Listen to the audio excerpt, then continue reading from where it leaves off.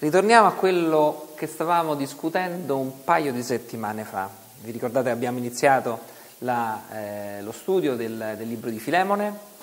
È un libro molto semplice, 25 versetti. È un libro che parla di perdono anche se la parola perdono non è mai eh, citata. Eh, tanto per, eh, per, ricapitolare la storia, Filemone è un ricco credente di Colosse, Colosse è una città della Turchia, dove ci sta una chiesa, e aveva uno schiavo di nome Onesimo, uno schiavo che era fuggito, uno schiavo eh, fuggito attualmente si trovava assieme a Paolo, probabilmente eh, in Grecia, e nel frattempo era, eh, era divenuto credente. Eh, nella lettera che Paolo manda a Filemone, dice a Filemone cosa vuole, cosa si aspetta che lui, che Filemone faccia rispetto ad Onesimo, ovvero perdonarlo e riabbracciarlo come un fratello in Cristo e non più come uno schiavo eh, fuggiasco.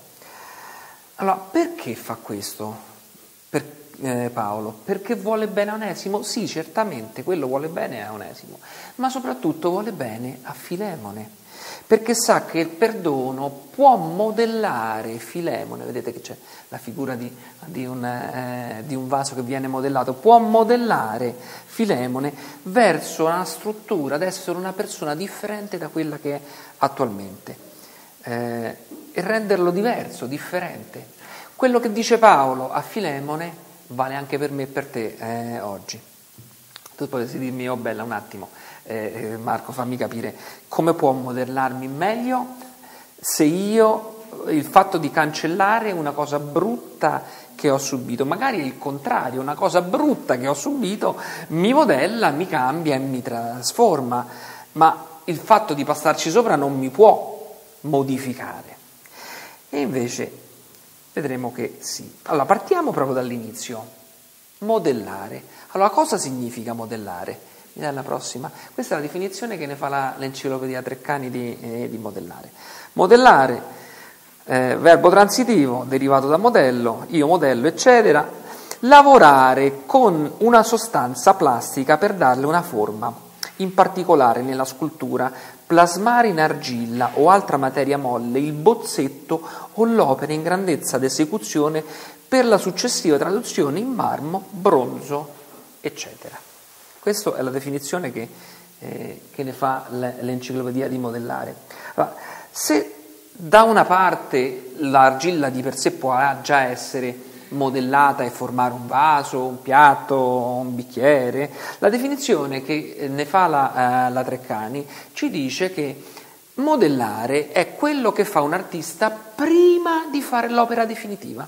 Che cosa fa? Prende un pezzo di, eh, di, di, di argilla, di creta, io, eh, eh, un tempo c'era il DAS a scuola, chi è che, che utilizzava il DAS? Prende il, prende il DAS e lo modella e fa un bozzetto di una cosa che poi farà in un materiale più pregiato, in marmo o bronzo. Allora, tenete presente questa immagine, eh?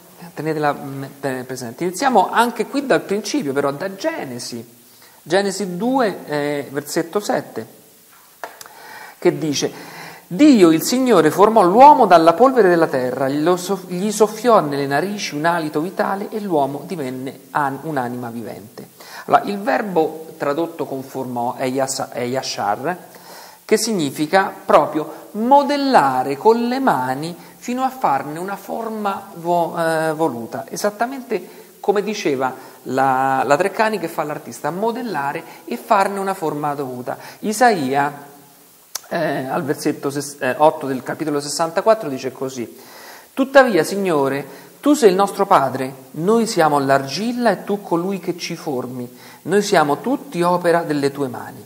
Allora, il verbo che usa qua Isaia è lo stesso, Yashar, eh, che usa, e lo, e lo usa in una maniera particolare, una forma che vi dico si chiama participio attivo cal. Dice che cosa? È un tempo, è un tempo che esiste in greco ma non esiste in italiano. Il, il participio attivo cal indica un'azione che si compiva nel passato, che si sta compiendo adesso e che si compie nel futuro. Non esiste in italiano, esiste in inglese, si chiama Present Continuous Tense, ing form per chi ha fatto le, le, le, le superiori, è un qualche cosa che c'era prima, c'è adesso e ci sarà dopo. In italiano non c'è. La, la, forma proprio precisa. Italiano, in, in questo eh, Isaia ci descrive una cosa molto specifica e molto precisa, che dice, non dice ci hai formato e ci hai modellato, oppure ci modelli adesso, ci dice ci hai modellato, ci modelli e ci modellerai, per cui questo è quello che succede, l'azione di Dio continua a modellarci, a spostare la creta, l'argilla per dargli la forma che lui vuole, piano piano. In questa sala che sembra garage del, del, del piano di sopra, e oggi ti sta modellando, oggi Dio ti, sta, ti continua a, a modellare, se tu gli permetti di modellarti. Allora, come fa? Talvolta sposta l'artista sposta con i pollici piano piano, avete visto quando fanno i vasi che tirano piano piano il, l'argilla, eh, avete presente Ghost? quello, quello, ok. Altre volte invece succede in una maniera differente. Altre volte non basta la delicatezza, ma l'artista, l'artigiano prende la spatola e toglie, taglia via, strappa pezzi di creta e di argilla per dargli una forma eh, che è differente. Allora, le esperienze potenti modellano eh, la, la, vita delle persone. Questo è un esempio che c'è in Luca, Luca eh, capitolo 17, versetti eh, da 3 a 5. Eh, questo è Gesù che parla e dice State attenti a voi stessi. Se un fratello pecca, riprendilo e se si ravvede, perdonalo. Se ha peccato contro di te sette volte al giorno e sette volte torna da te e ti dice mi pento, perdonalo. Allora gli apostoli dissero al Signore, aumentaci la fede. Anche qui tenetevi a mente questo aumentaci la fede, lo vedremo alla fine della predicazione. Allora, le esperienze ci modellano e qui eh, l'esperienza eh, che Gesù vuole, eh, vuole, con cui vuole modellare è quella di un perdono reiterato nel, eh, nel, tempo. Gesù sta parlando ai suoi discepoli che lo seguono perché sanno che lui ha le risposte eh, eh, di vita, perché sanno che lui è la risposta. Lo seguono per dare forma e significato alle loro vite, non perché è un gruppo di, eh, di vacanze. Si fidano di lui perché ha visto quello che ha fatto in passato, come aveva liberato tante persone dalla malattia e dal peccato. Allora, se voi leggete i Vangeli vedrete più volte che Gesù prima fa le cose, prima fa un'azione, dice una cosa, poi mette seduti i discepoli per terra e gli dice avete capito che, eh, che ho fatto? Avete capito che ho detto? spiega l'azione che c'è sotto, il principio che c'è sotto l'azione o sotto le parole che lui sta facendo. Questo perché? Perché Gesù li sta plasmando, li sta modellando, li sta modellando. In questo caso il perdono di Gesù serve a, plasmarli e ad avere un carattere che perdoni, come il carattere di Gesù che perdona. Allora Gesù dice ai suoi, c'è una persona che ti avvicina, qui parla di un fratello, non, non specifica se è un fratello in fede o un fratello in, è, è nella carne, che eh, non passa un giorno che ti delude, ti tradisce, sbaglia, pecca verso di te. Allora, fermati un attimo e pensa alla tua giornata magari di, 18, di 12 ore, no? quella attiva. E tu hai questo tuo fratello che ogni ora e tre quarti fa qualche cosa contro di te e ogni ora e 50 minuti viene là e ti chiede scusa, scusa, ma dopo un'ora e tre quarti fa la stessa cosa, fa una cosa differente contro di te. Allora, come modella questa tua attitudine verso di lui? La prossima volta che mi si avvicina, una badilata, una palata in bocca e vedrai come lo modello io. Ecco, ecco. Questo è come ci modella, no? E Gesù dice no, no Marco, no, attenzione, io non voglio che tu sia leggermente differente da la badilata in testa a, a, al tuo fratello. Io sono l'artista e io deci, e, e, decido l'argilla, ho deciso l'argilla con cui ti ho fatto, io sono eh, colui che decide la forma dell'argilla. Non devi prendere quella forma che si ritrae, ma devi prendere una forma che si allarga, accoglie e, e, e accetta. Allora, un attimo, un attimo, però Gesù mi sta dicendo che se non perdono chi mi ferisce sono condannato?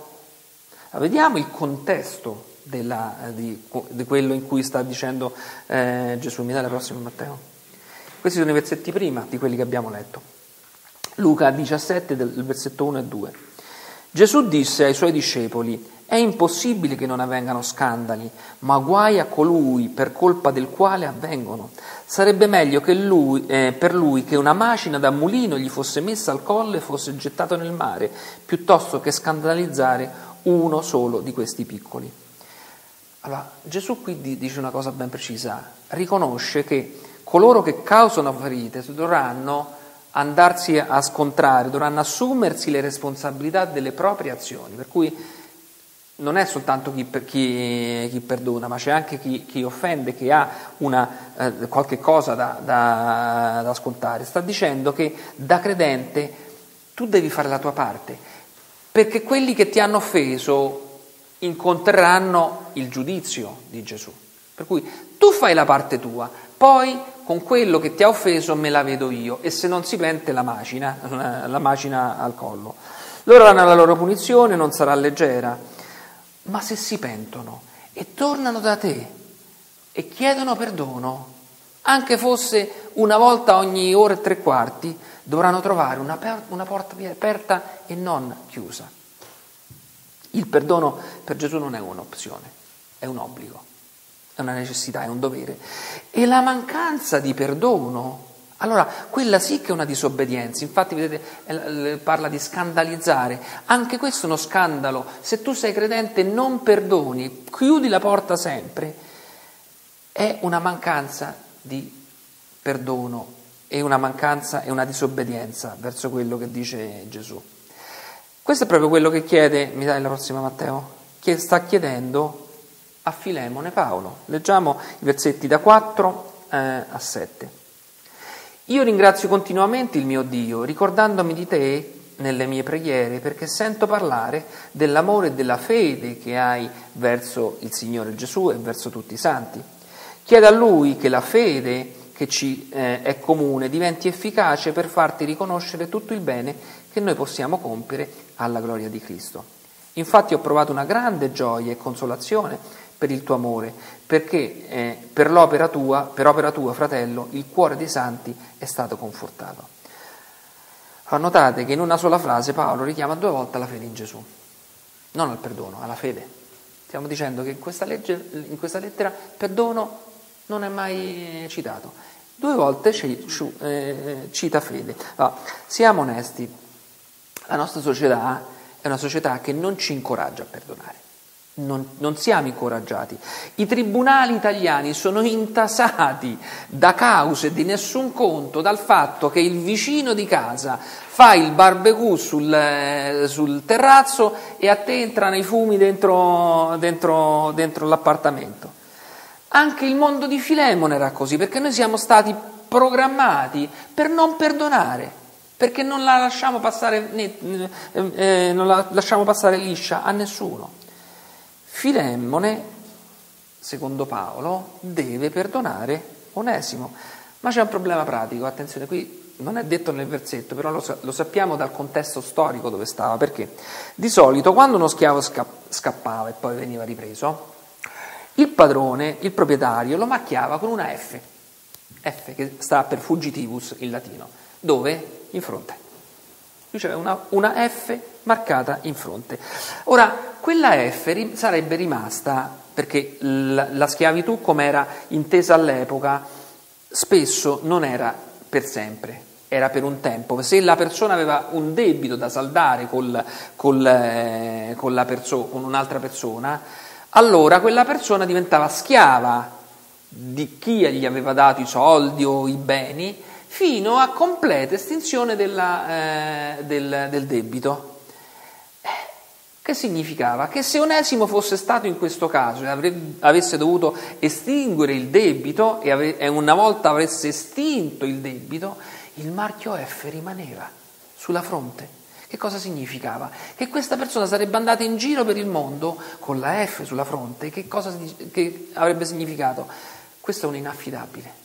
Questa è una persona di cui non mi posso fidare. Questo è un fuggiasco. Questo è un traditore. Sarebbe stato marcato a vita. Però ora Onesimo è credente. È credente uguale a Filemone. Cosa farai ora, Filemone? Mi dai la prossima, Matteo. Sempre Paolo dice, Sento parlare della fede del Signore, nel Signore Gesù Cristo, tut- eh, e del tuo amore per tutti i santi. Allora, notate la parola fede e la parola santi. Paolo sta dicendo a Filemone, che tipo di carattere hai? In che modo l'artista Gesù sta modellando l'argilla di cui sei fatto per riprodurre una statua di te in bronzo o in marmo? Allora, Onesimo come credente, come credente è un santo, in greco è agios. e vi continuo a dire che santo non sono quelli che ha stabilito il Vaticano e neppure se stai sul calendario, ma i santi sono coloro, agios significa messo da parte, separato, scelto.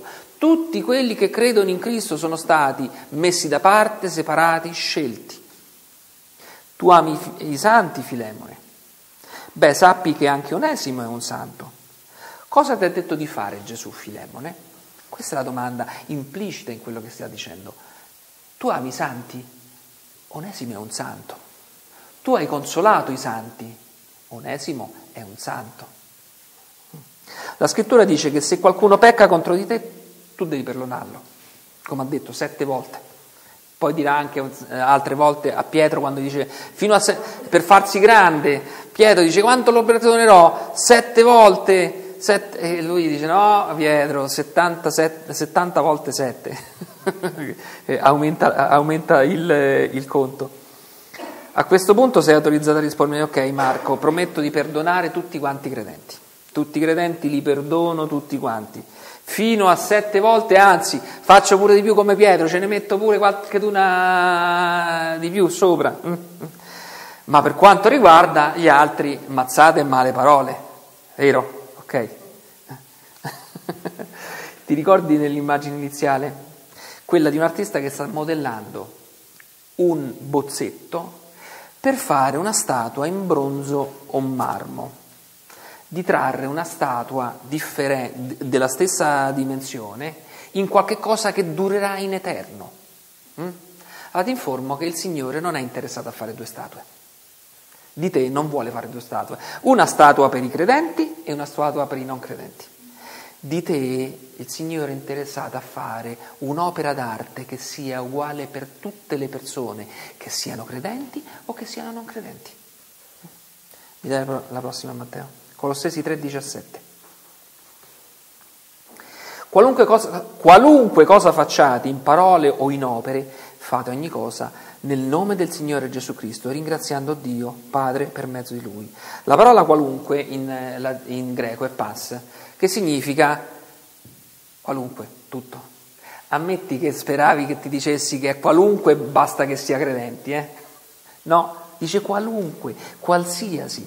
Se tutto deve essere fatto per Gesù, se tutto deve essere fatto in obbedienza per Gesù, indistintamente sia ai fratelli, sia ai non fratelli nella fede che agli altri, allora il perdono deve essere dato tutto, tutto quanto, a qualsiasi persona che sia credente o che non lo sia. Paolo dice a Filemone, io ho sentito parlare della tua fede, hm? la tua fede. Filemone era famoso per la sua fede, la gente in giro ne parlava, faceva rumore la fede di Filemone, perché dicevano, quello sì, questo è, è quello che dice la gente di me e di te? Ah, Marco, quello sì che è una persona di fede, quello sì che ama Gesù. È questo quello che pensano di me e di te le persone quando ci guardano?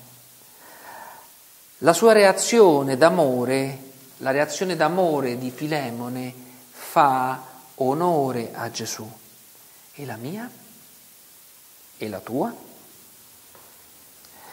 Anche se può non sembrare eh, a, a chi vive con me, eh, anche se può sembrare che io sia molto calmo, infatti tu dici ah, la calma tua.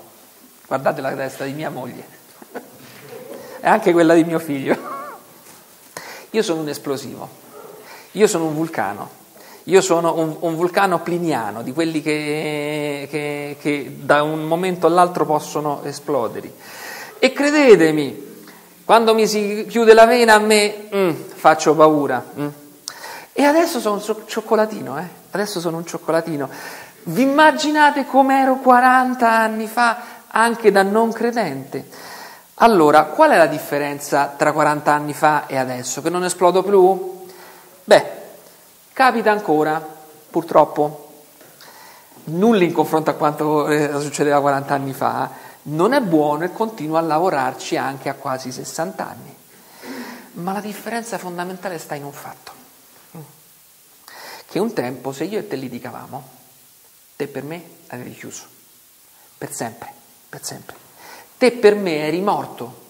Io questa abitudine, questo atteggiamento l'avevo visto da mio padre. Mio padre è una persona che adoro, stimo, grande uomo, grande politico, amava la famiglia, grande lavoratore, ma non osare, non osare di tradirlo, perché se tu lo tradivi anche per una piccola cosa, non ti vedeva più, tu ti potevi verniciare di bianco su sfondo nero, lui avrebbe detto io non vedo nessuno, non ti avrebbe più visto, tu non esistevi più.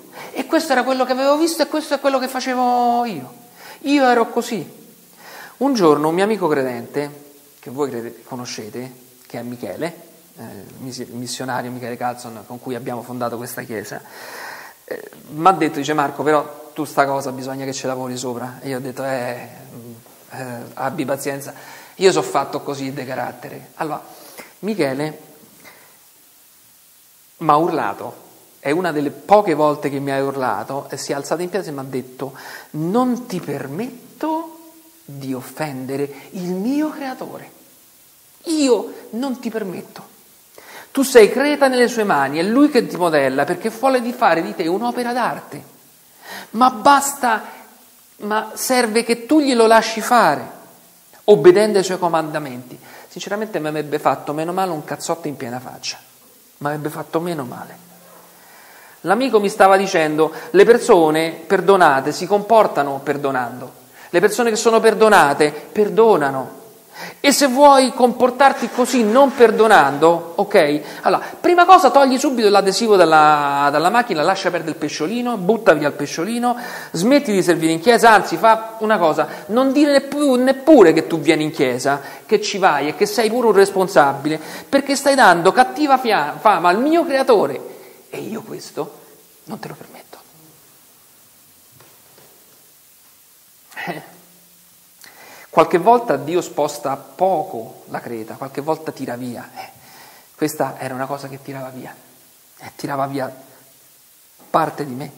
Dio mi stava modellando attraverso le parole dell'amico Michele e non era un modellare dolce, non era docile, non era calmo, ma un colpo di spatola che portava via, che raschiava, che staccava pezzi, che faceva male.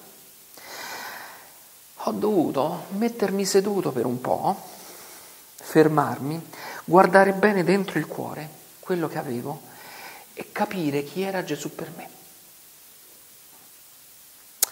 Capire cosa significasse perdonare. E questa è la stessa cosa che Paolo sta dicendo a Filemone che sta chiedendo a Filemone, mi dai la prossima Matteo? Filemone 6.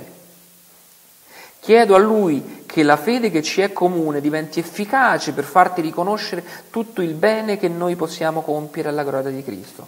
Lo rileggo. Chiedo a lui che, eh, che la fede che ci è comune diventi efficace nel farti riconoscere tutto il bene che noi possiamo compiere alla gloria di Dio. Questa è la terza volta che Paolo parla di fede. Non parla di perdono, ma parla di fede. Filemone era un uomo molto capace. Filemone era un uomo ricco, era un uomo credente, era un uomo di buona fama, era una persona che aveva una chiesa che si riuniva in casa sua e Paolo gli dice, Filemone, trasforma la tua conoscenza in esperienza. Trasformala, il tuo sapere, in un'azione. Perché la conoscenza del perdono e della salvezza porta i brividi di euforia. Sono stato perdonato, wow, che bello!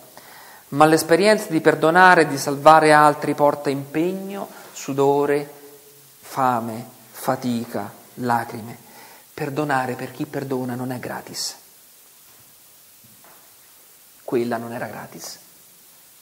Gesù per perdonarci è morto in croce. Siamo argilla, siamo argilla. Eh, fatemi fare una piccola eh, diversione. Sapete la caratteristica dell'argilla, vero? Che dopo un po' che l'impasti, l'argilla si secca. Eh, si secca.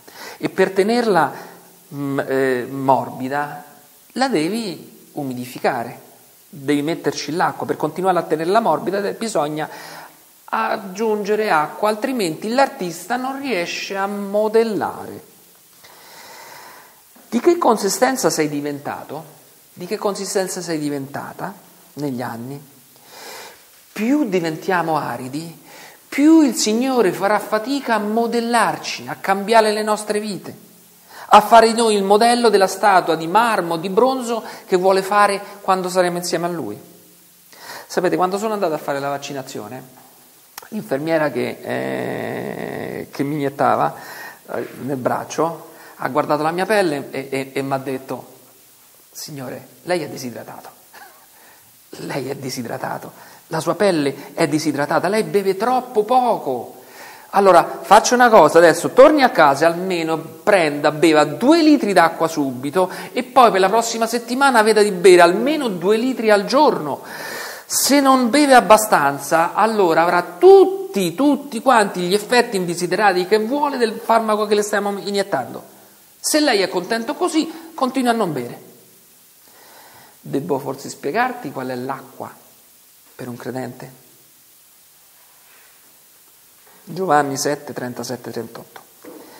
Chi ha sete venga da me e beva. Da chi crede in me, come dice la scrittura, scorgeranno fiumi di acqua viva. Questa è acqua viva. Sort, Drust, tedesco, thirst, sete, sete di amore, giustizia, certezza, verità, Dio, scopri l'acqua che disseta veramente. La parola di Dio è l'acqua, la parola di Dio. Ora, quante volte bevi l'acqua di Gesù? Al giorno? A settimana? Al mese? All'anno? Quante volte sgorga l'acqua? Quante volte apri la fontana da cui puoi ricevere? Quante volte apri la Bibbia? Fine della parentesi. Torniamo a Filemone che ora sa di essere costretto da, da Cristo a perdonare. Eh.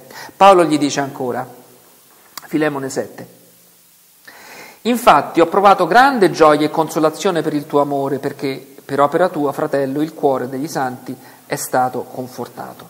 Va, mettiti nei panni di Onesimo. Mm? Eh, sai di aver sbagliato, sai di aver causato dolore, eh, sai che legalmente Filemone potresti, potrebbe marcarti con la F sulla fronte. Tu, Onesimo, sei alla mercé di Filemone, sei lì davanti, vuoi solo il perdono. Paolo sta dicendo a Filemone, allora Filemone, tu fin qua hai, hai agito bene, hm? le persone sono state edificate dal tuo comportamento, adesso viene la prova del 9. Sapete che cos'è la prova del 9? Sì, eh, all'epoca mia c'era un, facevi, quando avevi fatto la divisione, facevi sta, sta crocettina eh, che doveva corrispondere tutto quanto a 9. Allora, loro lo sanno, loro lo sanno perché ancora la fanno a scuola. Filemone, eh, eh, Paolo sta dicendo, Filemone, tu sei stato bravo, la divisione e la moltiplicazione la sai fare, però adesso c'è la prova del 9. Cosa farai Filemone? Marcherai con la F onesimo o lo perdonerai? La parola tradotta qui confortato è una parola eh, di origine militare, anapapuò, che significa eh, far riposare un esercito che marcia. Mm? Paolo che cosa sta dicendo? Filemone, fino ad ora tu hai dato ristoro all'anima dei tuoi compagni di battaglia. Mm? Tu li hai ristorati, li hai fatti eh, riposare, I, battag- i, tuoi compagni di battaglia per Cristo sono stati riposati da- dalle tue azioni. Se perdoni questo tizio, se perdoni Onesimo, che per legge puoi marchiare a vita, se lo abbracci non come un fuggiasco ma come un fratello in Cristo, ma allora quello che tu eh, eh, stai facendo, quello che farai, avrà un impatto enorme in chi, in chi vede intorno, che siano credenti o che siano non credenti.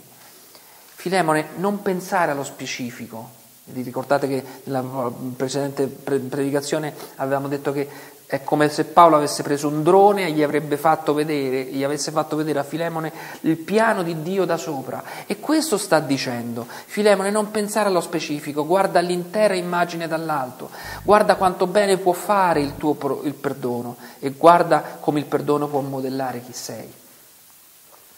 È una decisione dura da prendere, eh? perché perdonare incondizionatamente chi ci ha fatto male è, tosta, mm, è tosta. Allora, vi ricordate che vi ho detto di, di tener, tenervi a mente una frase che avevano detto i, i discepoli? Aumentaci la fede. Perché quando Gesù gli aveva detto voi dovete rimos- eh, perdonare così, così, così, sette volte eh, al giorno arriva questo sette volte lo, lo dovete perdonare, così hanno detto Signore aumentaci la fede perché perché per perdonare una volta ci vuole un po' di fede, per perdonarne due un pochetto di più, per perdonarne tre, ma fino a sette, oh, qui ci vuole una fede super, eh? qui ci vuole super, bisogna che l'aumentiamo la fede. Sapete che cosa ha risposto Gesù, vero? Luca 17, 6. Il Signore disse, se aveste fede quanto un granello di senape, Potreste dire a questo sicomoro, sradicati e trapiantati nel mare, e gli obbedirebbe. Gesù risponde, non ti serve una fede super, non ti serve, semplicemente ti serve fede. Non ti serve super, ti serve fede, anche piccola come un seme di senape, non so se avete mai visto i semi di senape, sono una cosa infinitesima, piccolissima, ma una fede, una fiducia, una voglia di fare ciò che Lui ti chiede di fare, ciò che Gesù ti chiede di fare. Una fede in colui che ti sta modellando affinché tu diventi un capolavoro. Paolo per tre volte in due versetti ha parlato a Filemone di fede, non di perdono. Fede, non perdono. Mi dà la prossima Matteo? Siamo di nuovo qua. Modellare Lavorare una sostanza plastica per dare una forma, in particolare nella scultura, plasmare in argilla o altra materia molle il bozzetto, l'opera in grandezza d'esecuzione per la successiva traduzione in marmo o bronzo, eccetera. Dio ti sta modellando, Dio sta modellando ciò che sei adesso. È il modello in argilla che durerà per un tempo, la tua vita qua, ma è un modello che serve per fare di te un capolavoro che vivrà in eterno assieme a Cristo. È il modello in argilla che durerà per un tempo breve, ma quando sarai in cielo assieme a Cristo e a tutti i santi, tu sarai in bronzo, in marmo o in qualcosa di ancora migliore. Che forma vuoi avere? Che forma vuoi avere? La tua forma, quella che tu stai decidendo di avere adesso, o quella dell'artista Gesù che ti plasma? O quella dell'artista che è al lavoro per fare di te un capolavoro? Non ti serve una fede super, dice Gesù. Gesù ti dice non ti serve una fede super, ma semplicemente fede in colui che ti sta modellando. E ti serve di lasciarlo fare, di lasciargli fare il suo lavoro di artista. Il perdonare è parte della sua opera di modellare te nella forma che lui vuole. Fermiamoci a pregare. Padre, grazie di essere colui che ci modella. Grazie che tu vuoi fare di noi un capolavoro. Che tu vuoi fare di me quello che durerà in eterno presso di te. Se tu che, stato, che, hai ascoltato sei stato colpito o sei stata colpita da qualcosa che hai ascoltato oggi, prega queste cose assieme a me nel tuo cuore. Signore Gesù, io voglio farmi modellare, io voglio che tu modifichi la mia struttura, che tu prenda l'argilla con cui sono fatto, con cui sono fatta, e la modifichi secondo quello che tu vuoi, non secondo quello che io voglio. Per questo, Signore, ti prometto che non mi tirerò indietro dal perdonare le persone anche se non mi chiedono nulla, anche se non sono credenti, anche se mi hanno fatto male. Perché io so che il modellare la mia forma è quello che tu vuoi perché il modellare secondo quello che è il tuo perdono è quello che tu vuoi, perché tu sei sceso per perdonare e per modellarmi. Queste cose te le prego nel tuo santo nome, Signore Gesù. Amen.